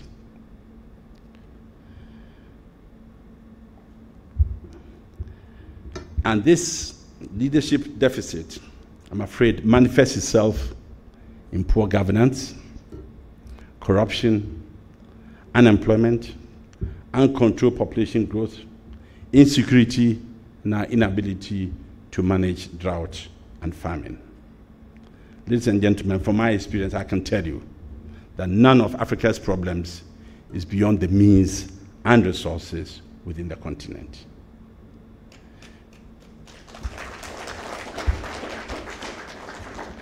It is a well known fact that prosperous nations don't become so by accident. Prudent policy planning and implementation from the political class down to civil society has been and will be the catalyst to their rapid development. As I said earlier, we need a new class of leaders. Leaders, put simply, who will be motivated to make a positive impact on society they govern and not on their bank accounts. And as Lucy brilliantly puts it, leadership from the heart creates greatness. We need leaders who will be motivated to serve and not to be served. I've done business across the continent. I've had my setbacks, my disappointments, my modest successes. And my experience has taught me there's a real yearning across the board for a bold new normal. A bold new normal in our governance, in our business, and in our social interaction. Lucy's bold new normal provides a roadmap for how we can make a difference, how this yearning can be met. In this regard, I take great comfort from the fact that some patriots have launched initiatives to ensure the new generation of leaders are equipped with the skills, the mindset, and the character to create the new norm. Two of such patriots come to mind. Patrick Awuah, the founder and president of Ashesi University, and Fred Swaniker, the founder of Africa Leadership Academy. These two patriots These two patriots have a shared vision, and I thought that it happens that Patrick could not make it because uh, he'd been caught by the well-planned traffic we have in Accra.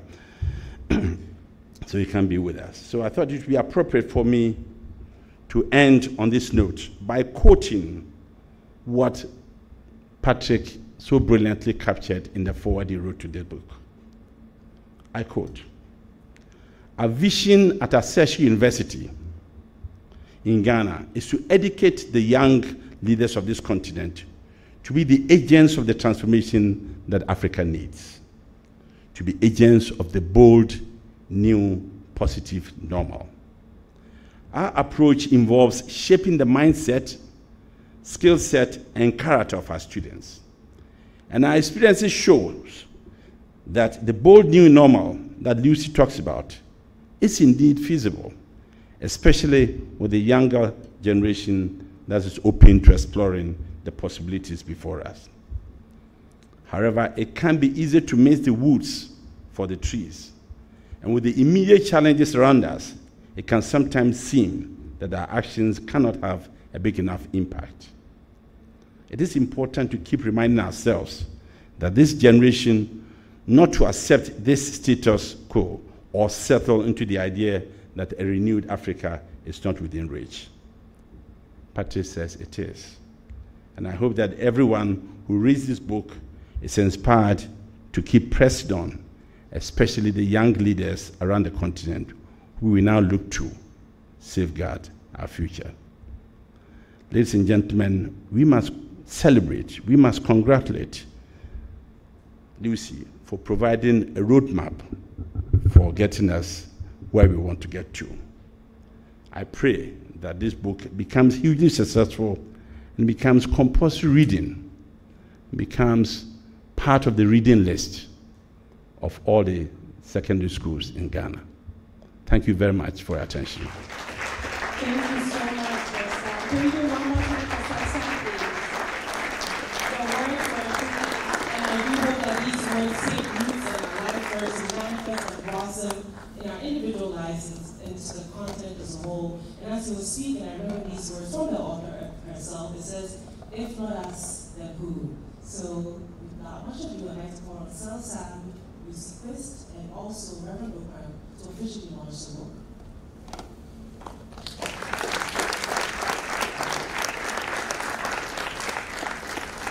And a fun fact about this book, this book was published in Ghana, Ghanaian genius, Ghanaian brilliance, and printed in Ghana. She had options, lots of options to do it outside of Ghana, but she decided to what, walk the talk. So I present to you Madame the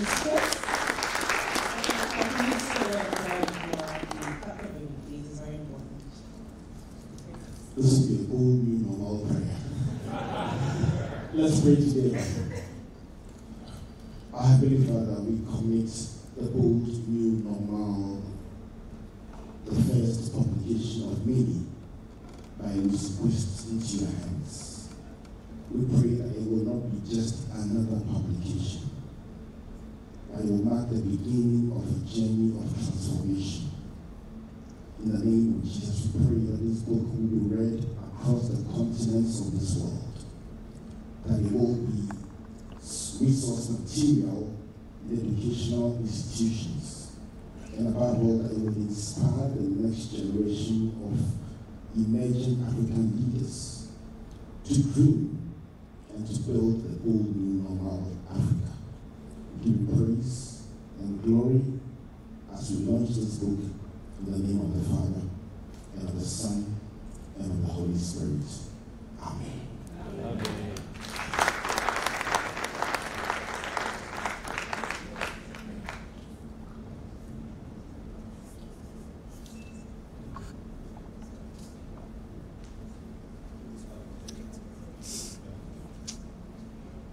So we officially launched this book in the name of the Father, and of the Son, and of the Holy Spirit. Amen. We pray for continued success for Lucy. We pray that this book takes the world by storm.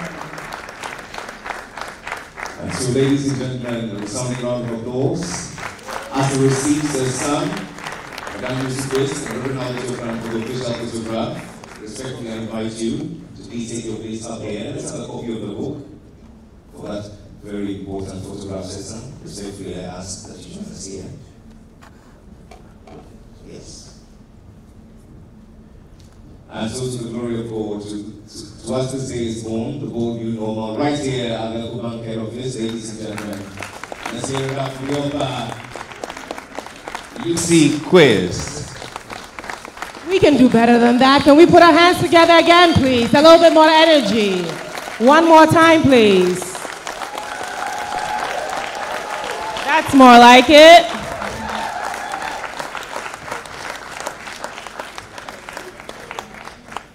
And so we've heard the bold new normal. We've had a glimpse of what the bold new normal is. What is the bold new normal?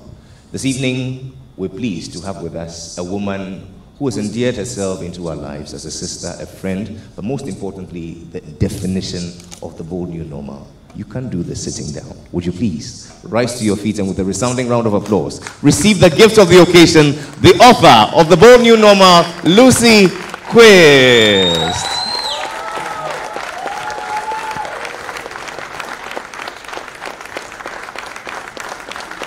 Thank you very much. So I'm not here to thank you, but I have to thank you. Because you're all here because you, you mean something to me, you contribute something to my thinking, my perspectives. You, you listen to me sometimes and let me rant a bit and then offer a different opinion. I said, oh, I never thought of it that way. I'll go back and do some thinking.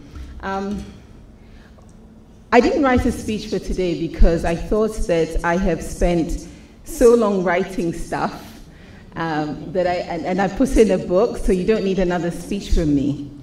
And I had to write the book. Um, you know, at one point in the book, I, I, I make it very clear to whoever's reading so that they understand at least one of my biases is that I'm, I'm a Christian. And I think it's really important that our faith is exhibited practically um, not just showing up at church and doing stuff, but the actual practical essence of who we're supposed to be. And part of it is that we're supposed to be bold, we're supposed to have dominion, we're supposed to not accept being less than. And many of you here, are, like me, are not millennials and, and below. But ultimately, we influence them, and I hope as many of them as possible will read this book. Because everything you see around you, and a lot of my inspiration is from them. They did all the work. They produced all these wonderful things. Um, some of the parts of the book you, you, you, heard were written by them. They have what it takes. We just sometimes need to give them the room you know, to demonstrate to us what they have. Because as a people, if we're not building our future, then we're really lost. You know, when I first joined the telecom industry, one of the specific things I was told in my interview, um, at the time working for a bank in London, was that um, they wanted to recruit people like me because they couldn't find any talent in Africa. And when I joined the industry in 2008, across the, the, the country, at least for Ghana, most of the leadership teams of, the, of these companies were not Ghanaian. It was the norm, it was the accepted norm. And some of us had to fight that extra mile, go, go that extra, you know. Um, I have one of my sons here, and he has a, a scar across his chin because one, I, you know, I, come, I come home after a long week, he was excited, he was three years old, and he fell off his chair and it's cut and we ended up at Nyaho Clinic, thank God for Nyaho Clinic. But the point is that we, we did the work that we needed to do with the support of all our friends and family, and so I, so th- I say thank you to all of you. But it's not lost on me also that some of those things happened um, because we were a generation, or at least some of us, had the supports, the people who believed, the opportunities that we needed years ago to be who we are today. Um, you know, if you look at telecoms and I talk about the leadership change, by the time I was leaving the industry, time I left the industry, most of the leadership were Ghanaian, and many of my former colleagues are in this room with me. But the other thing that people don't, don't appreciate is that in this country so far, four Ghanaians have led telecom companies. Philip led the way for all of us, and unfortunately, I don't think he's, he's made it here because he said he might be traveling. What most people don't know is that the other three of us knew each other as teenagers. And that should tell you something. That the people who are going to lead us one day are already out there. And the question is, what are we doing about them? Right? Patricia and I sat in, sat in class. Some of our schoolmates are here, so they, they know the story. I don't need to give them the, the, the drill, right? Selom and Patricia were in university together, and by, by, by virtue of the fact that we knew so many um, people, Selom and I got to know each other years ago. We didn't even have degrees when we knew each other. So the stage was set a long, long, long, long time ago, decades ago, and we have had the good fortune to now be in these positions. The question is, where is our future pipeline? Are we just going to fold our arms and say it's all doom and gloom and deny our young people? Because we can't continue to be outliers. It has to be the norm. There has to be so many of us that people don't even notice us. Right? I'll, end on this note because tonight is about young people, and we're going to have just two of them here with us very, very briefly because I, I, I don't like to do things without them because it is about them. A week or two ago, many people celebrated um, Jumia, Jumia's IPO, and the headline was about this African, um, this African um, um e-commerce uh, tech company that was the first to be listed. Now, for me, the fact that Jumia's shareholding was predominantly non-African is not it was not news because I knew sort of the foundations of um, Jumia, and I knew that most of the early investors had been telecom companies, multinational telecom companies, so it weren't going to be um, um, part of it. But I think what upset me, so I wasn't upset about the shareholding. What upset me was hearing the Jumia CEO in 2019 repeating what I was told in 2008. That really upset me. He said that all their tech development was done in Europe because they, haven't they can't find talent in Africa. This story isn't changing, and I, I look upset because I am upset every time I think about it. We cannot continue to live and be exactly as we were. Then what was the point of living? Really? I don't want anybody to have the effrontery to do business in Africa and claim not to find people to do the work in Africa. It's our money. The business is thriving on our money, and yet we're creating non African jobs and saying that our young people need jobs. Every single one of us who have achieved anything, we left school and we were trained by a company. Some company took us under their wing and took us, uh, and took us through a development program. And it happens all over the world. So why should companies come to Africa and assume that they need to have ready-baked, ready-made talent for their new industry? We can't continue to accept these things. It's absolutely got to change. And it starts with us saying different things about ourselves to each other before we even say them to the rest of the world. So I'm going to end there. I'm going to uh, bring, bring up two of my uh, wonderful, wonderful. Um, um, should I still call you millennials? Where's Irabna and where's, where's Bernard? So I'm going to have a conversation with Irabna, and Bernard is going to sum up our conversation.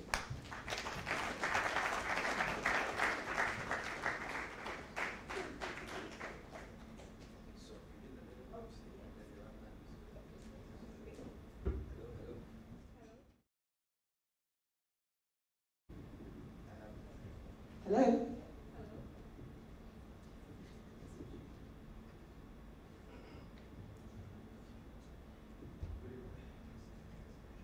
Good evening again. Plow through this book in uh, like four questions. So Lucy knows I'm a talkative, so she wants me to do this quickly. So Lucy, three things jumped at me. Irabna, good to see you as well. In, in so can I just say a word before you go? Okay. So Irabna is here. You all know Bernard. Many of you won't know Irabna. She is um, the CEO of Wear Ghana. And she has she and her business partner, Sesa Anyoko, set up this business. Two young women, they were able to distinguish their roles. Irabna is the CEO because she talks too much. Um, and Anyoko is the COO. But what struck me most in the time that I've gotten to know Irabna is this we had a conversation once where she was busy recounting um, um, how her business operations and business works. And a lot of people um, in Ghana and on the continent tend to be paranoid about sharing detail of their business. So I asked her directly, Irabna, why are you sharing? We're streaming live. Everyone's going to hear your secrets. What did you say to me? You have to remind me. well, what she said to me was she quoted to me the size of the global apparel business. Mm. She's not thinking Ghana. She's not thinking Africa. She gave me a figure in trillions, and she said, you know what? I need a share of that tr- trillion dollar um, um, industry. So if other Ghanaians are going to hear the secrets and then we will all become known for fashion in Ghana, all, uh, you know, uh, fine, fine with me. And that's what we need. People who go the extra mile. Go. I, I suspect I was selected to moderate this because there was a time we did a panel on millennials and I think you liked what we discussed. Three things jumped at me in, in this book. You're very big on mindsets in the book. In fact, there's a whole chapter on mindsets. Why, why, why are you so concerned about mindsets? I mean this with um, all due respect, but I think the majority of people on this continent have resigned themselves to the bleak future I talk about. Really, we don't have hopeful conversations and we don't take hopeful actions. We're taking what is around us as given, and some of it's because of the way we're socialized. But until we really believe, really up here, that I am equal to any other human being, that I have all everything at my disposal. So I'm going to tell my child, I'm going to tell my cousin, I'm going to tell everyone, and I'm going to insist that we act on it. Mm. That we can organize ourselves, we can be orderly, we can be structured, we can plan, we can make things happen. But that won't happen until this thing up here believes it's true. So this is where it starts up here, and that's why you wrote this book, right? I had to get out of my head, so it had to be on paper. Irabena, as Lucy said, you are very different as a business person. The first few of her, her, designs I wore, she didn't even take a measurement of me. I don't know how she, she got the measurement right. And she's like that. She opens up. Tell me a bit about how you sort of feel things differently as a business person because you do have a different mindset than most people in our generation. You are more open than closed. And as Lucy said, you see more the bottle half full than half empty. What was it that influenced that sort of mindset for you? Um, I think that it, it's, like you've said, mindset. And the reason that we do what we do, which is to make the best clothes that money can buy at Wear Ghana, is, thank you, is that we want to use this as a vehicle to challenge the narrative on what African means, on what made in Ghana means.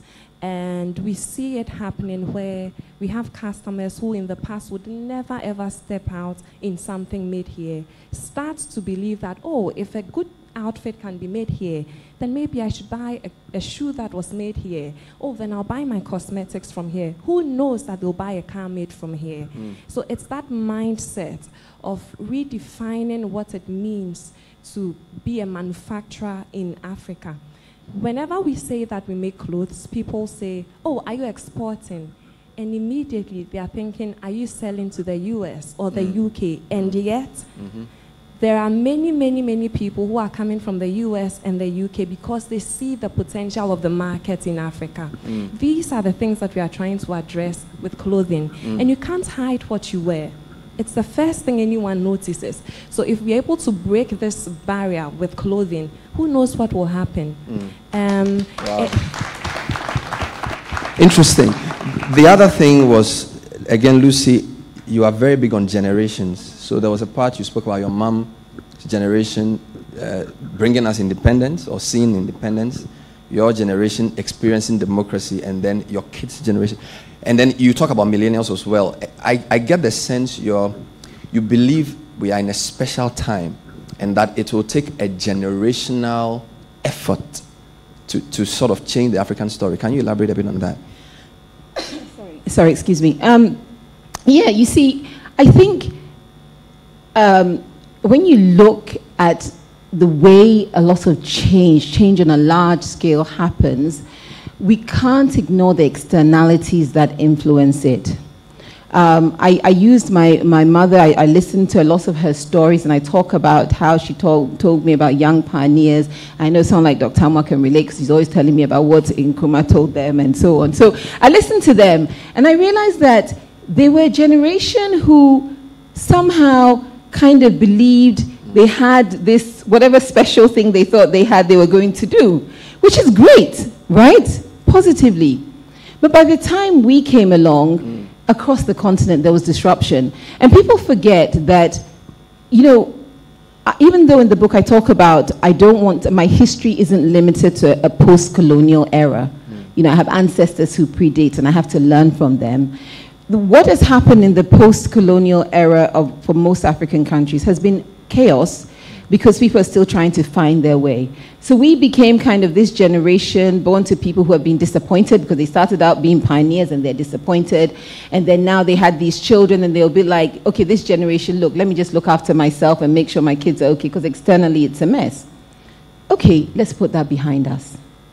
Your generation doesn't have the burden of a disappointed young pioneer, right? You don't have them telling you stuff enough, right? And you don't have the burden that we have, which was, what's this whole democracy thing going to be about? You know, I hear it's going to be good, but who knows, mm-hmm. right? And you have access to information. You know what's going on in the world. So you suddenly need to be that African who says, what's happened in the past is, is gone. I can't do anything about it. But here and now, as a young person, I have the energy, I had the commitment, don't wait two years old as I am, um, to really create, because that's the example I was given, right? Mm. That who knows, in 10 years from now, you're going to be on, you know, some billboard somewhere in, in New York because suddenly you've suddenly exploded across the world. But the generation has to believe that things happen in cohorts. And now we have to move away from outliers to create a generation where it's normal. Mm. But you guys need to make that commitment. Hey, Rabina, in the generational conversation, there's you, there's Tony Senaya, there's um, your friend who does accessories. There's a lot of you. How is it something you see as um, a movement of some kind? Because I mean, Nalamle brought me a shirt yesterday. Somebody gave me a shoe. Everybody wants to build something. Is, how do you see that, that dynamic? Where is it going to end? This idea that young people from tech and Legon, instead of going to work in a bank, want to build their own fashion brands, have their own website. And it's like, it's hard, but you're still up to it. You're giving media interviews and all of that. Talk to me about whether there's an ecosystem already. Do you talk to your other colleagues? Do you share your problems? We do. And um, I think that it's, it's, it's happened in different phases. Phase one was, okay, so I worked in a bank and I left and I started my business and that's making the news. And now there's a whole lot of us who have done that. Phase two is where we are, where we have to prove that the move was worth it, where we start to build businesses that can employ um, graduates from, from the best universities across the world. And that's what we are working. And all of us have come to realize just how difficult it is to do this. And so it's very important to share our stories with each other and keep pushing and say, hey, we are in it together. But it's also critical that we have people like Lucy, who so believes in us. And to even offer me this seat, which is so intimidating to be talking to, to this group gathered here, it's belief, and it's not just words over and over and over again. Lucy and Esther Cobbah and so many other people have proven that not only do they sit on platforms and say we believe in you, but they do believe because it's critical mm. that this generation does things differently. Very, very soon, Africa is going to have the biggest population. Mm what happens then mm. when even now we can't employ the people wow. who are here? What happens then? Wow. You're already thinking generationally. That, that's incredible. Lucy, I, I, want to end on, on two, two points. So I like the fact that you sounded angry because a lot of people say I sound angry on the radio. and um, one of the books I read, Mike Murdock says, What makes you angry is a clue to what you are supposed to solve. So I like the anger. I'm also fascinated that you chose to, in your execution chapter, uh, discuss the normalization work you were doing. And I don't know whether the normalization influenced the bold new normal, but, but that's a different discussion. So, the, the, the for, for me, you sort of really explained football. You spoke about the straddle between public and private sectors. And you dug in and you're doing public sector work. You're a businesswoman, you're an engineer. Give us a bit more insight into why you agreed to do this, and because you shared some lessons as well. I, I'm really interested to know why a private person who is in business inspiring people decided to take a job which is thankless. I'm a journalist, the sports journalist, uh, they'll kill you. I mean, you get me? So it's, it's not something, and I'm not sure I've even been paid for this, right? So talk to us a bit about why you chose to end the book with your, your experience in the normalization committee and whether this means all of us may one day have to get out of our comfort zone to also do something more than simply radio or business or something. Yeah, you know, it's interesting. So I started writing this book a long time ago. The TED talk I gave was in 2016. And I only started working on all the material I have to make a book in uh, March of 2018, convinced that in three months my business efficiency will mean I'll be done. Here we are in 2019, right? Um, so, so obviously this started before I went into normalization. And I, I've learned so much as part of normalization. So what I talk about uh, in, uh, in the book about it is the bigger picture.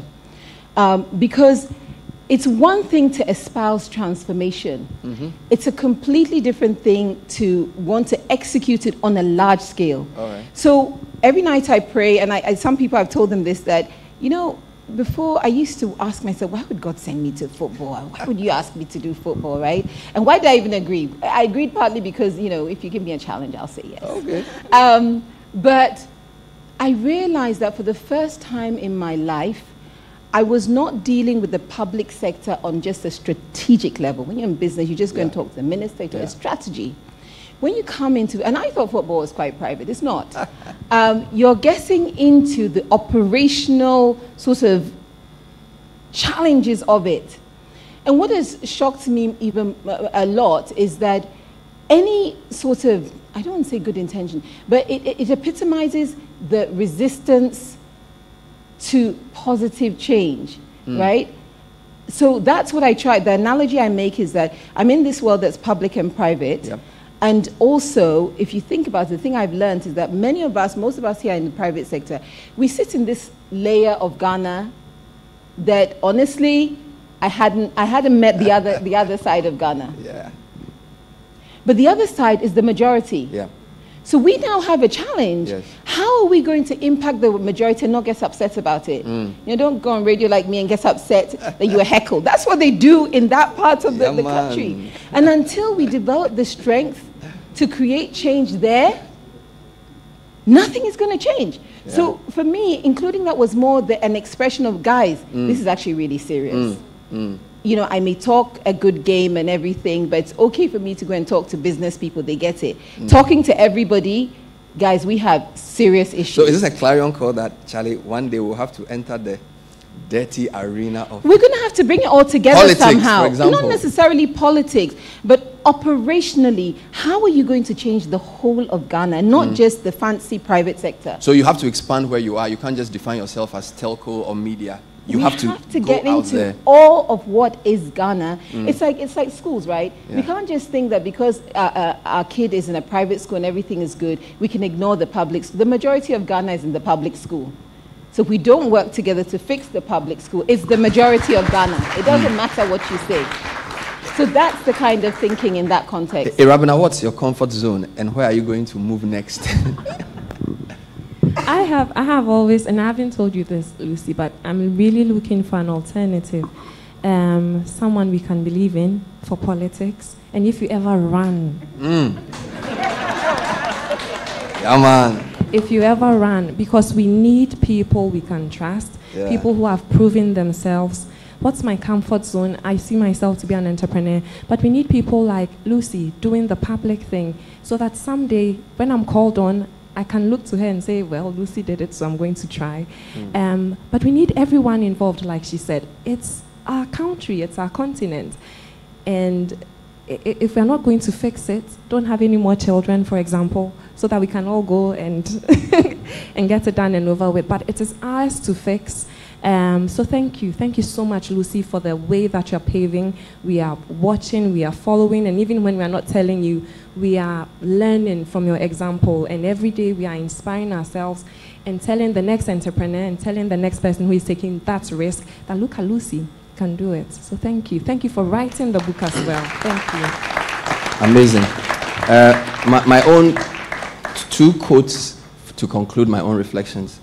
And I was at a program this afternoon where a Tanzanian financial expert gave her optimistic view on Africa, and she, she gave two quotes which I thought really sum up the way I see what you're doing. So she quoted JFK, who says, Change is the law of life, and those who look only to the past or present are certain to miss the future. And I like the fact that you've decided not to just not to ignore the past necessarily, but to say that in spite of the past, there's a future we have. That, that's number one. And number two, looking at you, I- I don't know you that well to say I know all the precepts or the principles you follow, but I see patterns. And so Seneca says the way is long if you follow precepts, but short if you follow patterns. So I like your transitions from engineering to banking to telco and putting yourself out there. So if I was one of the millennials you were targeting, I'm following your pattern. Thank you very much, Lucy. And that's how we end the session. Thank you.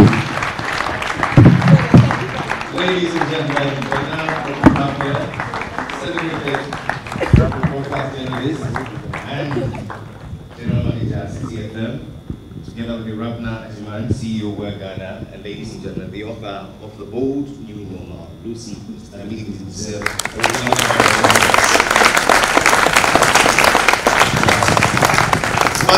insights and very penetrating perspectives, but this is where we have to draw down the curtain for our online viewers who have been great company. Ladies and gentlemen, let's applaud them with a round of applause.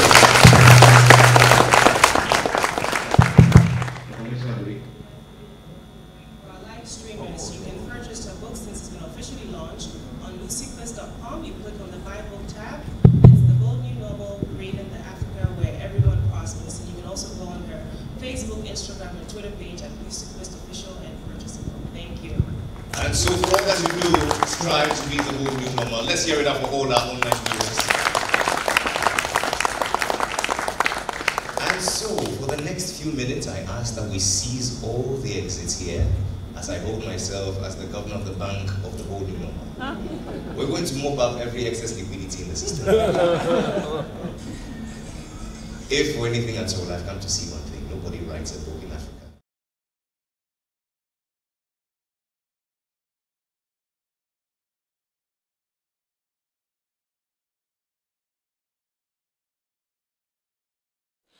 Our world needs you to commit to change.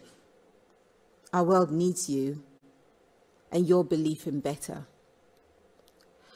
Our world needs you to create new visions of the future, that imagined reality that Ilian spoke about.